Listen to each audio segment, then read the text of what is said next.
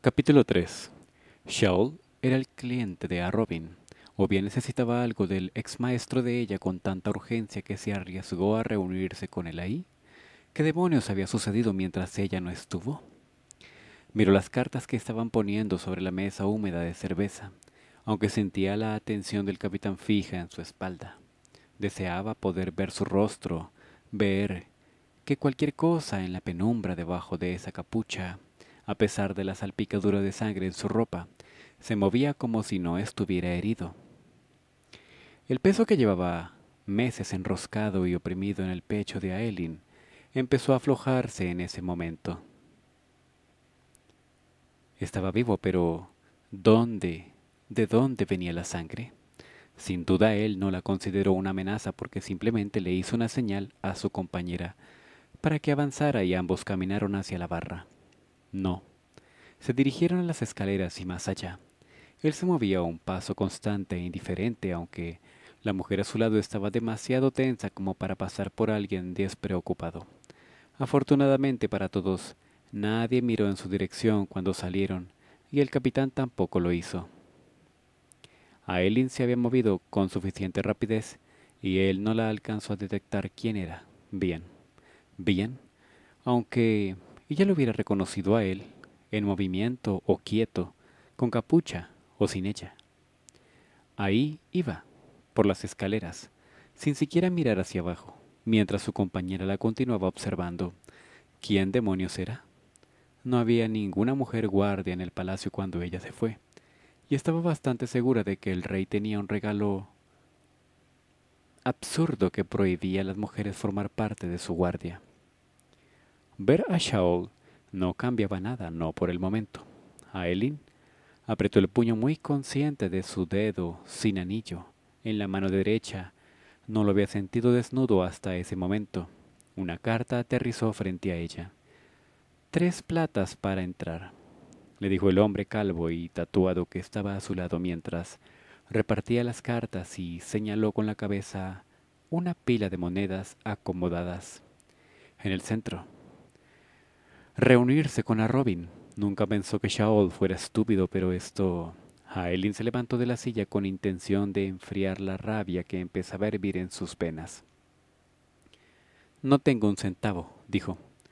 Disfruten su juego. La puerta en la parte superior de las escaleras de piedra ya estaba cerrada. Shaol y su acompañante ya se había ido. Ella se tomó un segundo para borrar de su rostro cualquier expresión que no fuera de ligera diversión. Lo más probable era que a Robin hubiera planeado todo de modo que coincidiera con su llegada. Seguramente había enviado a Tern al mercado de las sombras, solo para llamar su atención, y que lo siguiera a la taberna, tal vez Sabía que estaba planeando el capitán. ¿De qué de lado estaba el Lord ahora? Quizás solo había atraído a ese lugar como estrategia para meterse en su cabeza y alterarla un poco. Conseguir respuestas de a Robin tendría su precio, pero era una movida más inteligente que salir corriendo tras Shaol en plena noche. Aunque la necesidad de hacer justo eso lo obligaba a conservar todos los músculos tensos meses, meses y meses desde la última vez que lo había visto, desde que se fue de Adarlan destrozada y hueca. Pero ya no. Aelin caminó con seguridad los últimos pasos hacia el gabinete e hizo una pausa al llegar. Se cruzó de brazos al mirar a Robin Hamel, rey de los asesinos y su ex maestro sonriéndole. A Robin estaba sentado con desenfado entre las sombras de la blanca, una banca madera frente a una copa de vino. Se veía exactamente igual que la última vez que lo había visto, de facciones finas y aristocráticas, cabello rojizo y sedoso hasta los hombros, y una túnica color azul marino de confección exquisita, desabotonada con diferencia, premeditada en la parte superior para dejar a la vista su pecho fornido. No vio ninguna señal que trajera un collar o una cadena, su brazo largo y musculoso estaba recargado en el respaldo de la banca, y sus dedos bronceados y llenos de cicatrices tamborileaban al ritmo de la música del salón. Hola, querida, ronroneó. Sus ojos color plata brillaron a pesar de la penumbra. No portaba armas, salvo por el hermoso florete con guardas ornamentadas y retorcidas como una espiral de viento envuelta en oro que tenía a su lado.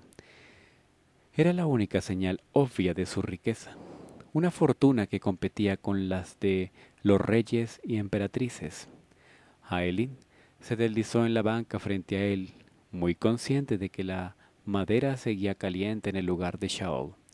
Los puñales que traía escondidos se presionaban contra su cuerpo con cada movimiento. Goldrin, la espada legendaria que sería completamente inútil a este espacio. Un espacio cerrado se sentía pesada a su lado. El rubí enorme de la empuñadura estaba oculto bajo su capa oscura. No cabía duda de porque a Robin había elegido ese gabinete para la reunión. Tú te ves más o menos igual, dijo ella mientras se recargaba contra la banca dura y se quitaba la capucha. Rithull te sigue tratando bien. Era verdad. A sus casi cuarenta años a Robin seguía siendo apuesto y permanecía tan tranquilo y sereno como cuando estaba en la fortaleza de los asesinos durante esos días oscuros y turbulentos tras la muerte de Sam. Quedaban muchas, muchas deudas que pagar por lo sucedido entonces a Robin. La vio de arriba abajo examinándola de manera lenta y deliberada. Creo que preferiría tu color natural de cabello. Precauciones, dijo ella, mientras cruzaba las piernas y lo estudiaba con la misma lentitud. No notó ninguna señal de que se estuviera usando el amuleto de Orint, el recuerdo real que le había robado cuando la encontró moribunda en las orillas del Florine la había dejado creer que el amuleto, el cual contenía secretamente la tercera y última llave del World, se había perdido en el río durante mil años. Los ancestros de Aelin habían portado el amuleto sin saberlo y eso había convertido el reino, su reino, en una potencia próspero y seguro, el ideal al cual las cortes de todas las tierras aspiraban. A Robin probablemente lo había escondido en algún lugar de la fortaleza. No quisiera volver a terminar a Endovier, dijo a Elin. Yo no quisiera volver a terminar en Endovier. Los ojos color plata centellaron. A Elin consideró un verdadero logro no sacar una daga y lanzársela con fuerza.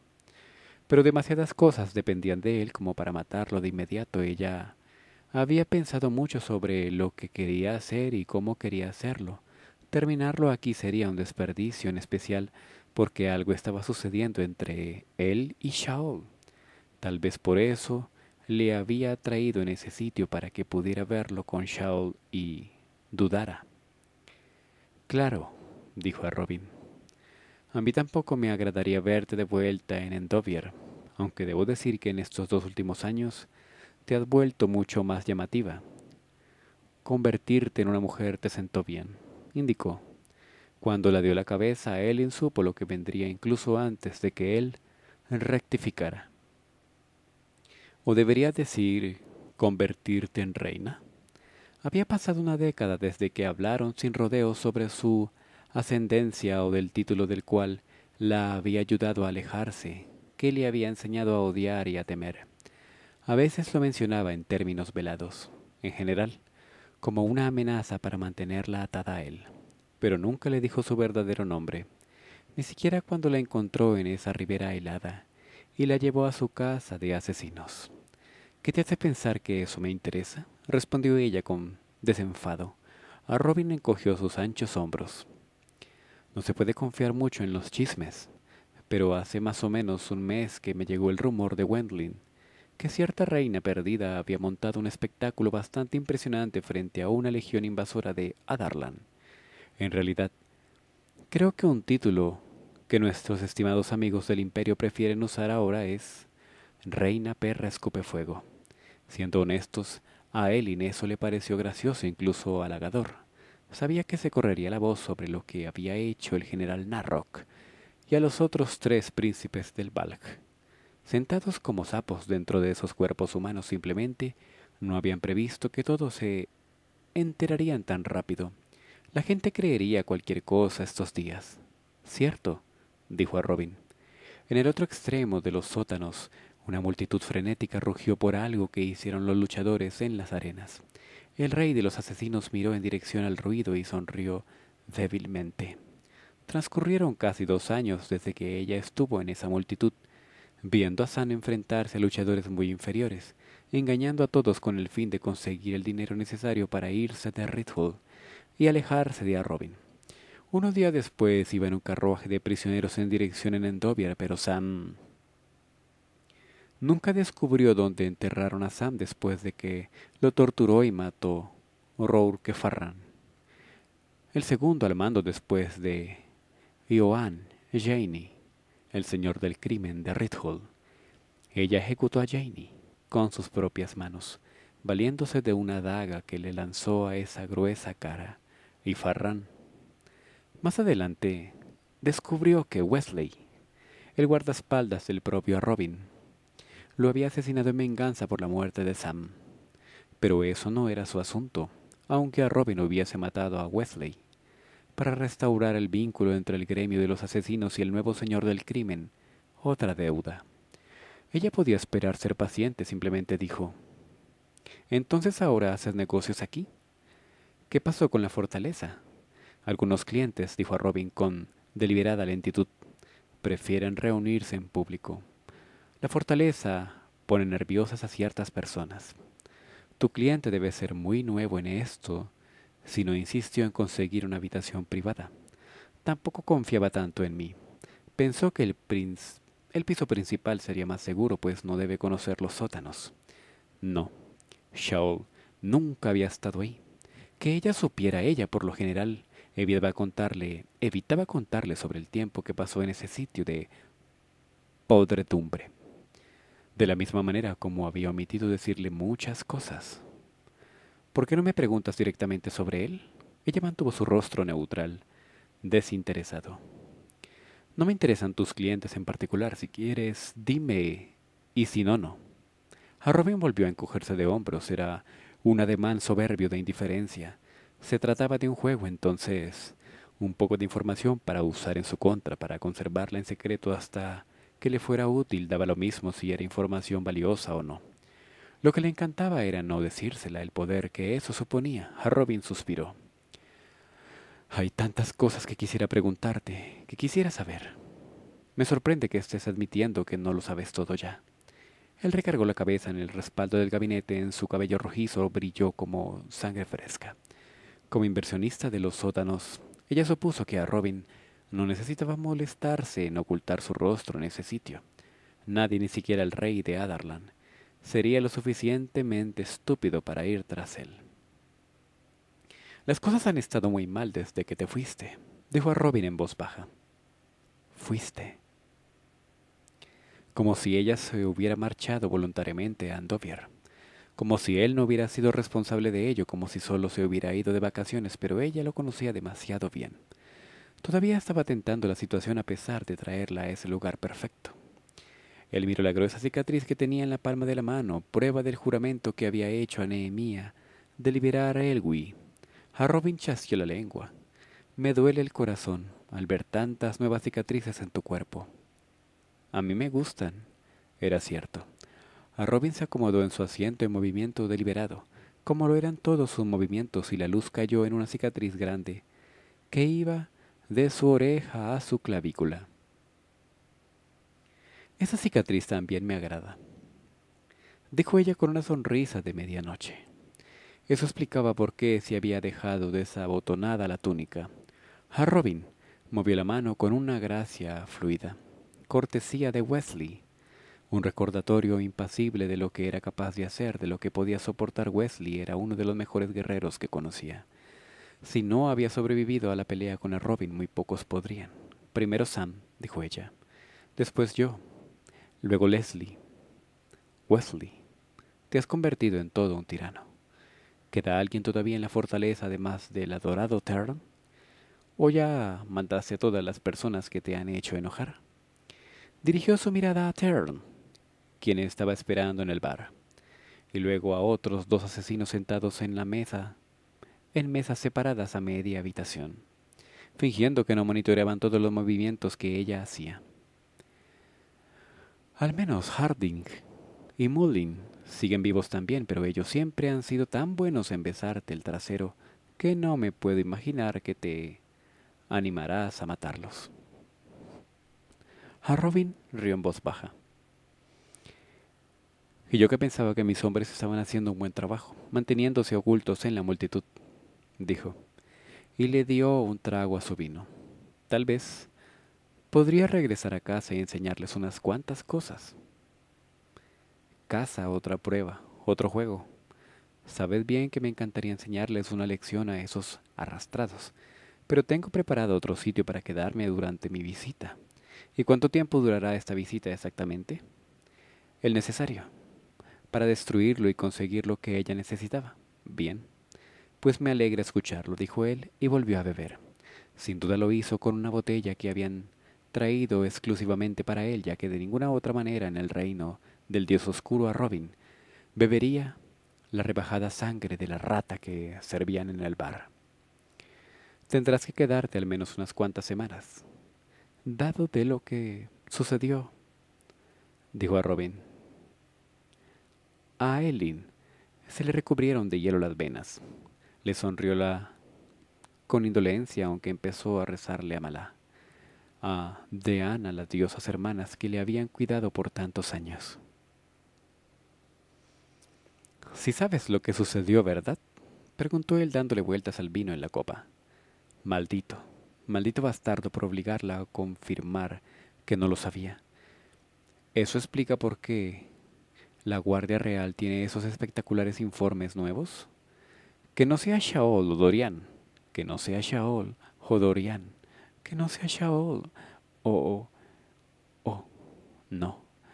Esos hombres simplemente son un encantador, añadió a nuestra ciudad. Mis acólitos se divierten mucho atormentándolos, dijo terminando el vino de un trago aunque apostaría mucho dinero a que la nueva guardia del rey estuvo presente el día que sucedió. Ella logró que no le temblaran las manos, a pesar del pánico que devoraba todo resto de sentido común que le quedaba. Nadie sabe exactamente qué sucedió aquel día en el castillo de cristal, empezó a decir a Robin. Después de todo, lo que había soportado. Después de lo que había superado en Wendling, regresar a esto Deseó que Rowan estuviera a su lado y oler su aroma a pino y nieve y saber que, sin importar cuáles fueran las noticias de a Robin, sin importar cuánto la destrozaran su guerrero, Ada estaría ahí para ayudarla a reconstruir su vida, pero Rowan estaba dentro, del otro lado del océano y esperaba y rezaba porque nunca estuviera a menos de cien kilómetros de distancia de a Robin. ¿Por qué no me lo dices de una vez? dijo ella. Quiero dormir unas horas esa noche. Eso no era mentira, con cada respiración el agotamiento le estrujaba más los huesos. Pensé, dijo a Robin, dado los cercanos que eran ustedes dos y tus habilidades de alguna manera habría sido capaz de percibirlo, o al menos de escuchar algo al respecto considerando de que se le acusó. El hijo de estaba disfrutando cada segundo. Si Dorian estaba muerto o herido, tu primo Edion fue apresado por traición, por conspirar con los rebeldes aquí en Redhall, para derrocar al rey y volverte a poner en tu trono. El mundo se detuvo. Se detuvo, luego empezó de nuevo a moverse y luego se volvió a detener. Pero, continúa Robin,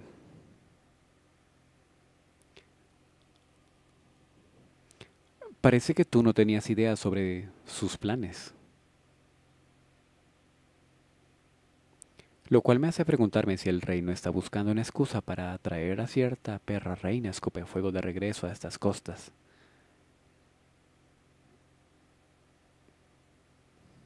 La ejecución de Edión está programada en tres días.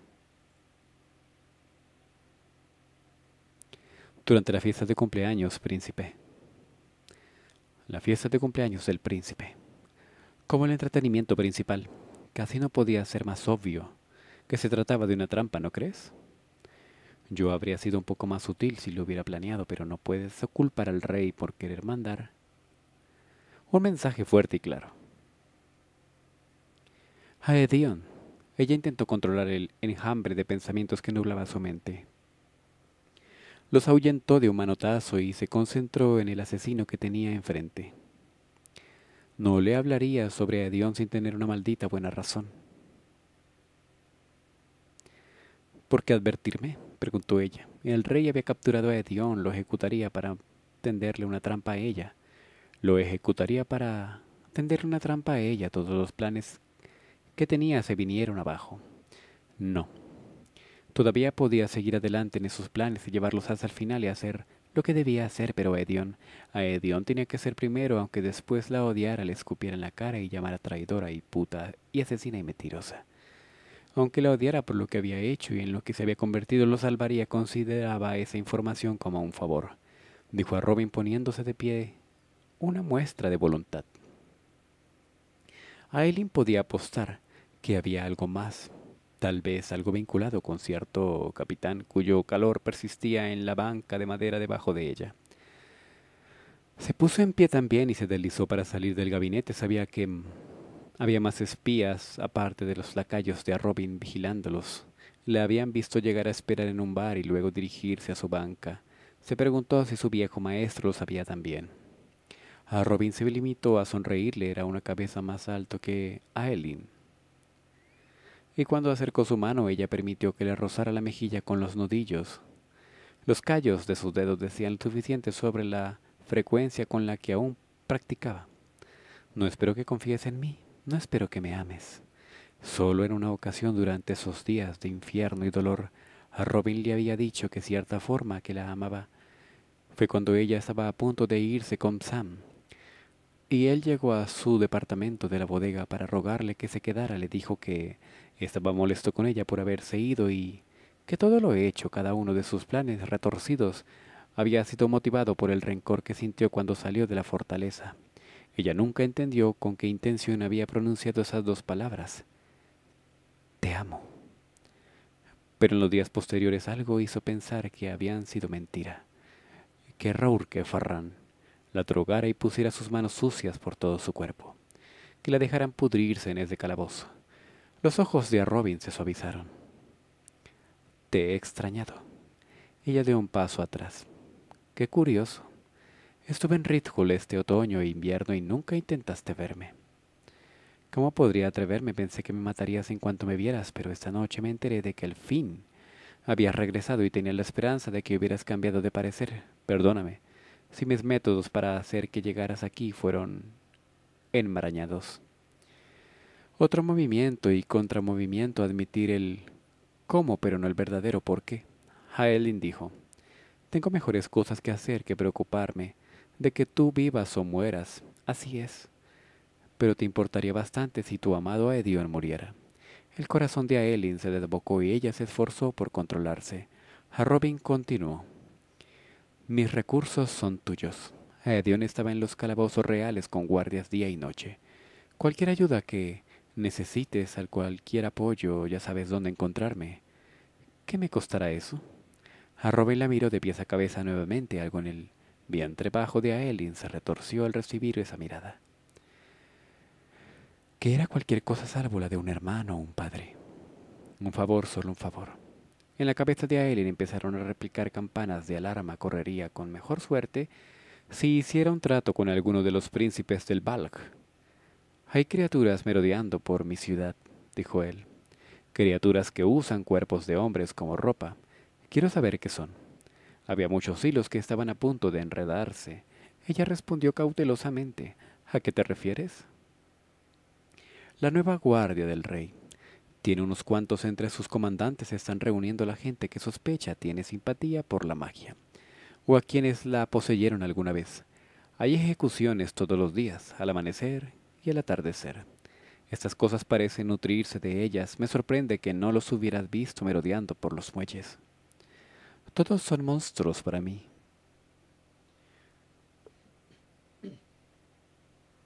Pero Shaol no se veía ni se sentía como ellos. Una pequeña ganancia. Él esperó. Ella también. A Elin se permitió ceder primero. ¿Ese es mi favor entonces, decirte lo que sé? No tenía mucho sentido negar que era consciente de la verdad a preguntar cómo él sabía que ella sabía. Aparte, ella resopló. Dos favores. ¿A precio de uno? Típico. Dos lados de la misma moneda. Ella se había quedado mirándolo sin expresión y luego dijo, A través de dos años de robar conocimiento y una especie de poder extraño y arcaico, el rey logró sofocar la magia y al mismo tiempo convocar demonios antiguos con el fin de que infiltraran cuerpos humanos y así formar su creciente ejército. Usa anillos o collares de piedra negra para permitir que los demonios invadan sus huéspedes. Ha estado buscando a quienes usaban la magia porque sus dones permiten que los demonios se enganchen más fácilmente. ¿Verdad? ¿Verdad? ¿Verdad? Pero no toda la verdad.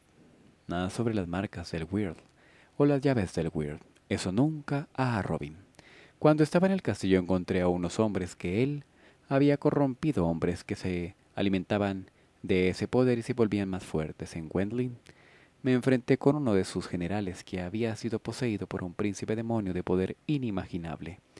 Narrock musitó a Robin. Si estaba horrorizado, si estaba sorprendido, su rostro no reveló nada. Ella asintió. Ellos devoran vida. Un príncipe como esos puede succionarte el alma del cuerpo, alimentarse de ti. Tragó saliva y un, miedo real le cubrió la lengua. Los hombres que has visto, esos comandantes, traen collares o anillos. Las manos de Shaol no tenían nada, solo anillos, dijo a Robin. ¿Hay alguna diferencia? Creo que solo los collares pueden sustentar a un príncipe. Los anillos son para los demonios menores. ¿Cómo los matas? Con fuego, respondió ella. Maté a los príncipes con fuego. Ah, pero no fuego del normal, me imagino. Ella asintió. ¿Y si traen un anillo? He visto a uno de ellos morir cuando le atravesaron el corazón con una espada, dijo al recordar que Shaol había matado a Caín así de fácil. Aunque no era un gran alivio, la de decapitación podría funcionar para los que traen collares. ¿Y las personas que solían estar en esos cuerpos están perdidas? La súplica de Narrock. Su rostro aliviado apareció en la mente de Aelin. Así parece. Quiero que captures a uno y lo traigas a la fortaleza. Ella se sorprendió. Desde luego que no. ¿Por qué? Tal vez sería capaz de decirme algo de utilidad. Ve a capturarlo tú mismo, dijo ella bruscamente. Encuentra otro favor que te pueda hacer. Tú eres la única que se ha enfrentado a estas cosas y ha vivido dijo a Robin, con una mirada que era todo menos piadosa. Captúrame. Captúrame como uno lo más pronto que puedas y yo te ayudaré con tu primo. Enfrentar a un Valk, aunque fuera uno menor. A Edión primero, dijo ella. Rescatamos a Edión y luego arriesgaré el cuello consiguiéndote uno de los demonios. Que los dioses ayuden a todos si a Robin se da cuenta de que podría controlar ese demonio con el amuleto que tenía oculto. Por supuesto, dijo él. Ella sabía que era una tontería, pero no pude evitar hacer la siguiente pregunta. ¿Con qué fin? Esta es mi ciudad, ronroneó él. Y no me encanta la dirección que está tomando, es malo para mis inversiones y estoy harto de escuchar el festín de los cuervos día y noche. Bueno, al menos estaban de acuerdo en algo. Un hombre de negocios hecho y derecho, ¿verdad? A Robin continuaba mirándola con esos ojos diamante. Nada es gratis. Rozó delicadamente su pómulo con los labios, un beso suave y cálido, e intentó disimular el estremecimiento que recorría su cuerpo y se obligó a inclinarse hacia él cuando le tocó el oído con la boca y susurró. Dime lo que debo hacer para compensarte. Pide que me arrastre sobre carbones encendidos, que duerma en una cama de clavos, que me mutile la carne, pídemelo. Y lo haré. Pero permíteme cuidarte como lo hice alguna vez, antes, antes de que toda esta locura envenenara mi corazón. Castígame, tortúrame, acaba conmigo, pero déjame ayudarte. Haz esta pequeña cosa por mí y permíteme poner el mundo a tus pies. Aileen se colocó la garganta y retrocedió un poco para poder distinguir ese rostro apuesto y aristocrático, los ojos que brillaban en un abatimiento y un propósito depredador que casi podía saborear. Si a Robin sabía sobre su historia con Shaul y había llamado al capitán a este lugar, había sido para sacar la información, para ponerla a prueba o para... ¿Es una manera grotesca de manifestar su dominio? No hay nada. No, todavía no. Interrumpió él dando un paso hacia atrás. No lo digas. Todavía. Piénsalo. Aunque antes de que lo hagas tal vez debería realizar esa noche una visita a la sección sureste de mis túneles podríamos encontrar a la persona que estás buscando. Ella mantuvo una expresión impávida, aburrida, incluso, pero archivó la información. A Robin se alejó hacia la habitación llena de gente donde sus tres asesinos ya estaban alertas y listos. Luego volvió a mirarla. Si tú puedes cambiar tanto en dos años, ¿no puedo yo también transformarme? Se alejó caminando entre las mesas. Tern, Harding y Mullin lo siguieron. Tern volteó a verla para hacer la misma seña obscena que ella le había hecho antes, pero Elin solo tenía ojos para el rey de los asesinos. Sus pasos elegantes y poderosos, el cuerpo del guerrero disfrazado con la ropa de noble. Mentiroso, mentiroso, hábil y astuto. Mentiroso, mentiroso, hábil, astuto y audaz. En los sótanos demasiadas miradas notarían si ella se tallaba la mejilla en el sitio donde aún susurraba la sensación fantasma de los labios de Robin, o el oído donde persistía su aliento cálido. Bastardo. Miró las arenas donde llevaban a cabo las peleas del otro lado del salón. A las prostitutas que luchaban por ganarse la vida, a los hombres que administraban el lugar, quienes habían sacado provecho por demasiado tiempo de toda la sangre, la desolación y el dolor. Casi podía mirar a Sam ahí. Casi podía verlo peleando, el joven y fuerte y glorioso. Se puso los guantes, aún tenía muchas deudas por cobrar antes de irse de Hall para ocupar su trono, empezando en ese momento, afortunadamente estaba con humor de matar. Era cuestión de tiempo para que a Robin mostrara sus cartas o los hombres del rey de Adarlan encontraran el rastro plantado cuidadosamente en los muelles. Alguien llegaría pronto por ella, de hecho, en cuestión de minutos. A juzgar por los gritos seguidos de un silencio absoluto detrás de la puerta metálica en el extremo superior de las escaleras, al menos esa parte de su plan permanecía en pie. Ya lidiaría con lo de Shaol más adelante. Con la mano enguantada tomó una de las monedas de cobre que a Robin había dejado sobre la mesa, le sacó la lengua al perfil bruto y despiadado del rey que estaba estampado en uno de los lados y luego el guiberno que rugía del otro lado si caía cara. A Robin lo había traicionado de nuevo. Si caía cruz, los hombres del rey, la puerta de hierro al final de las escaleras se abrió con un gemido. Y el aire fresco de la noche irrumpió el salón. Con la media sonrisa aventó la moneda al aire, impulsándola con el pulgar. La moneda seguía girando cuando vio aparecer a cuatro hombres uniformados de negro en la escalera. Tenía un surtido de armas letales atadas a sus cuerpos para cuando la moneda chocó con la mesa, con el guiberno brillando en la luz tenue. A Elin Galatinius. Estaba lista para el derramamiento de sangre.